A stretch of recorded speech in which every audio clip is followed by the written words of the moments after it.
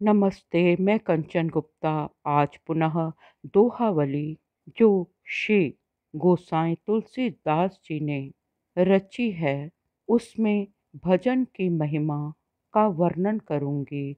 126 number दोहा में कहा है कि जल को मथने से अगर घी उत्पन्न हो जाए और बालू के पेरने से तेल निकल आवे अर्थात ऐसी दुर्लभ बातें भी अगर होने लगें तो भी बिना राम स्मरण के, बिना हरि भजन के भव सागर को पार नहीं किया जा सकता, ये सिद्धांत अटल है।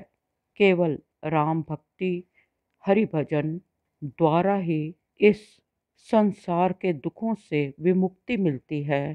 बारी मथे धृत होई बरू सिकता ते बरु तेल, बिनु हरि भजन न भव तरिए ये सिद्धांत अपेल। अब 127 नंबर का दोहा सुने, हरि माया कृत दोष गुण, बिनु हरि भजन न जाही, भजिए राम सब काम तजी, अस बिसारि मन माही। इसका अर्थ है कि श्री हरि की माया के द्वारा रचे हुए दोष और गुण श्री हरि भजन के बिना कभी नष्ट नहीं होते। ये संसार एक माया जाल है और ये माया जाल अति सुंदर है, आकर्षित करता है, परंतु संताप और दुख का घर है। परंतु हरि भजन के बिना ये माया जाल कभी नहीं कटता। हम इस माया जाल के आकर्षण में स्वयं को एक पिंजरे में बंद कर लेते हैं। हमें सब कामनाओं को त्याग कर श्री राम जी का भजन करना चाहिए। अब 128 नंबर का दोहा है। जो चेतन कह, जड़ कहे, जड़ ही करे स चैतन्य। असमर्थ रघुनाथ ही, बज ही जीवते धन्य। ईश्वर में इतनी शक्ति है, श्री राम जी में इतनी शक्ति है कि चेतन को जड़ कर देते हैं, अर्थात प्राणमय चीज़ को, प्राणमय वस्तु को पलक छपकते ही निर्जीव कर देते हैं, जड़ को चेतन कर देते हैं। श्री राम जी इतने समर्थ हैं कि उनके लिए कुछ असंभव नहीं। जो श्री राम जी का भजन करते हैं, वे धन्य हैं। अब एक सौ उनतीस नंबर का दोहा सुने, श्री रघुवीर प्रताप ते सिंधु तरे पाषाण, ते मति मंद जे राम तजी, भज ही जाय प्रभु आन। हम सब जानते हैं कि जब समुद्र को लांघना था तो पत्थरों का पुल बनाया गया। इतनी भारी शिलाओं को उठाना और समुद्र में पुल बनाना ऐसा दुर्लभ कार्य बानरों ने करके दिखाया और पत्थर तैर तैर कर समुद्र में अपना स्थान बनाने लगे और एक ना टूटने वाला पुल बना जो आज भी भारत एवं लंका के बीच हिंद महासागर में है। और जब तक ये ब्रह्मांड है, सृष्टि है, तब तक वे पुल कायम रहेगा क्योंकि वे राम जी की दृष्टि एवं कृपा से बना है। राम जी की कृपा से, प्रताप से, वे पत्थर, वे शिलाएँ समुद्र में तर गईं। अगर पत्थर और शिलाएँ तैर सकती हैं तो मनुष्य के लिए सब कुछ संभव होगा।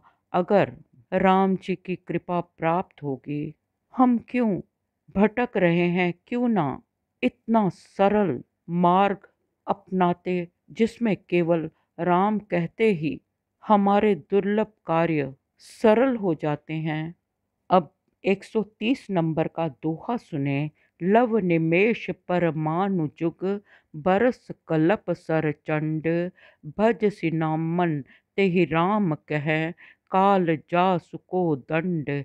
हे मन, तू उन राम जी को क्यों नहीं बचता, जिनको भजने से हमारा कल्याण है? ये काल ये समय ये समय के सुख दुख वर्ष, मास, महीने, युग तो राम जी के हाथों के धनुष बाण हैं, परमाणु हैं, युग, वर्ष, सब तो राम जी ने बनाया है।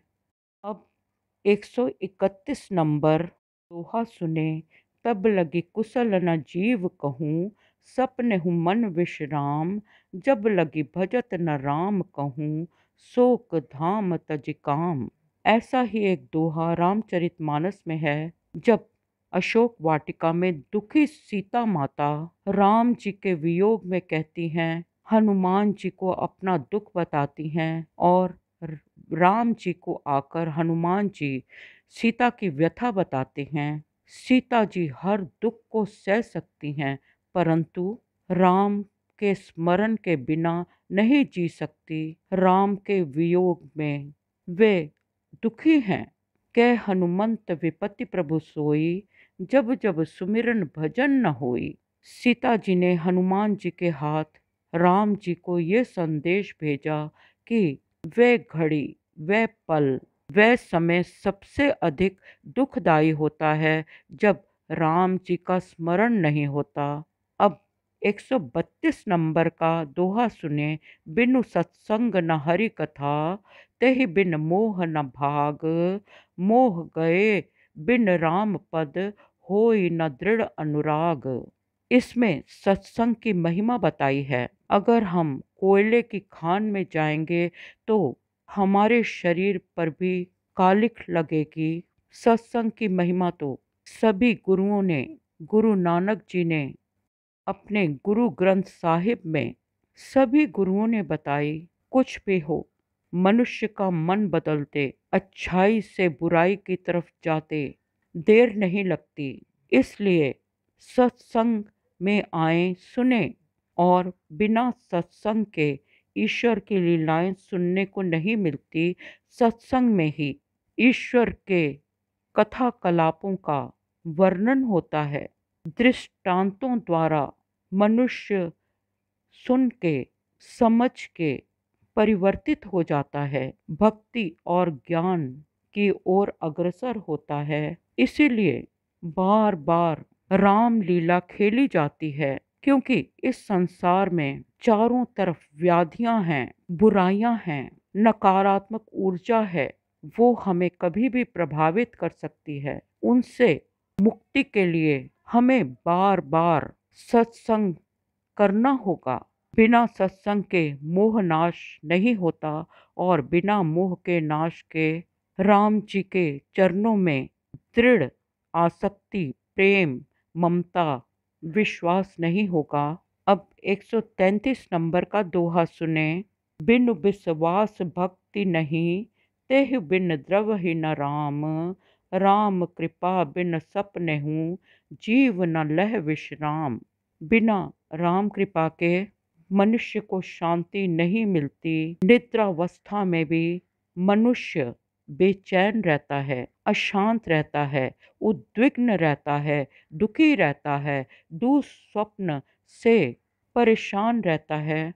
भगवान में श्रद्धा और विश्वास के बिना भक्ति नहीं हो सकती और बिना भक्ति राम जी पिघलते नहीं, बिना भक्ति राम जी की कृपा प्राप्त नहीं होती और बिना राम कृपा के जीव को, मनुष्य को कहीं सुख नहीं मिलता, स्वप्न में भी वो दुखी रहता है। आशा करती हूँ आज की प्रस्तुति आपको अच्छी लगी होगी। कृपया मुझे सुनते रहें। सुनने के लिए आप सबका धन्यवाद धन्यवाद।